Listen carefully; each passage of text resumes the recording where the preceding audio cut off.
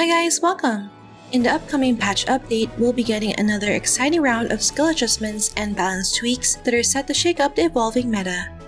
And in this video, we'll dive into the changes affecting Arcane Master, Novice Guardian, Divine Avenger, Solar Trouvere, and Luna Danseuse. These classes have fallen out of the meta for quite some time, and we're hopeful that the upcoming changes will finally boost their popularity in both PvE and PvP.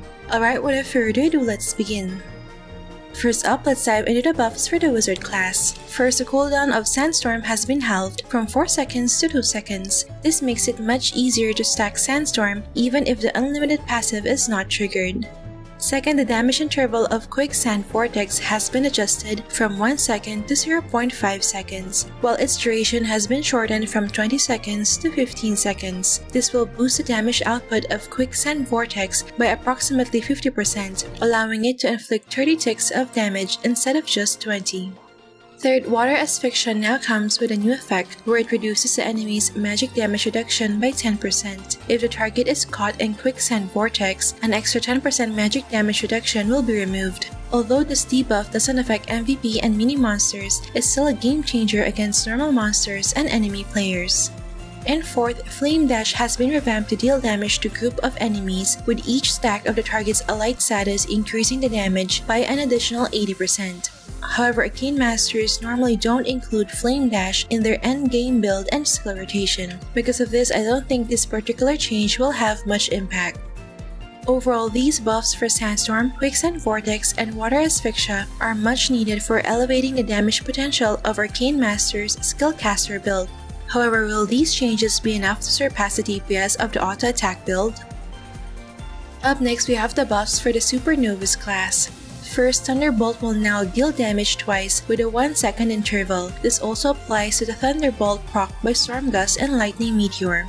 Second, the first line effect of the Blizzard Thunderstorm Star Rune has been adjusted, increasing the upper limit from 20% to 50%. Given the low base multiplier from Storm Gust, this buff should significantly improve its damage potential if you manage to get a high first line value. Don't worry though if you already have a gold star rune as the existing runes will be adjusted accordingly. Third, the Vulture's Eye passive skill now has an additional effect on Breakthrough that boosts magic AoE damage by 20%. This will further enhance the damage of Magic Nogu's AoE skills. And fourth, Eden Team Blessing's ability to provide immunity to magic damage will now last until receiving magic damage 21 times instead of just 9. This means Novice Guardians will be able to withstand more attacks from Jormungandr and other magic DPS classes. Overall, these buffs for Thunderbolt, Stormgust, and Vulture's Eye will undoubtedly enhance the damage potential of Novice Guardian's magic build. However, will it be enough to topple the Jormungandr's dominance in the current PvP meta? Up next, we have several adjustments affecting Crusader's defensive capabilities. First, the Prestige passive skill will now additionally reduce the attack speed of the attacker by 50% when auto guard successfully block their attack. Second, the auto attack damage reduction gained from Fearless party buff is increased from 5% to 20%.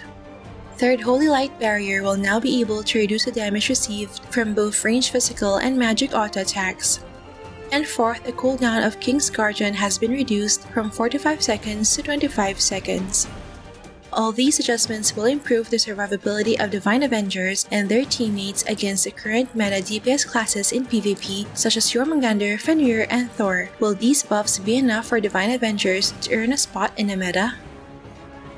And lastly, we have the adjustments for the Bard and Dancer class. First, the end of Sun and Moon Ensemble skill now has an additional effect that forcibly reduces the enemy's movement speed by 10% for each stack of Doomsday.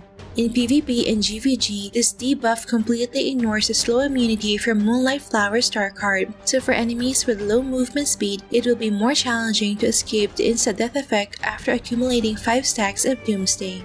For PvE, keep in mind that the insta-death effect does not apply on monsters, so it will just maintain the minus 50% movement speed debuff on monsters. Additionally, Southern Loot and Wishing Star's Tier 5 effect has been adjusted, increasing the movement speed of Doomsday while following the player from 30% to 50%. These two changes to End of Sun and Moon will definitely make it easier for performers to improve their kill count in GVG. So that's it for the class balance adjustments impacting Arcane Master, Novice Guardian, Divine Avenger, Solar Trouvere, and Luna Danseuse coming in the June patch update. Will these buffs be enough to dethrone the current powerhouses in PvE and PvP? Let me know your thoughts in the comment section below. Stay tuned for my next video as I keep you updated on the buffs affecting the Stellar Hunter, Phantom Dancer, Yamata, and Amaterasu. Alright, that's it for this video guys. Don't forget to like if you enjoyed watching this guide. If you're new here, I'd love for you to consider subscribing by hitting the subscribe button down below. I'd love to have you back. Thank you for watching and see you in our next episode.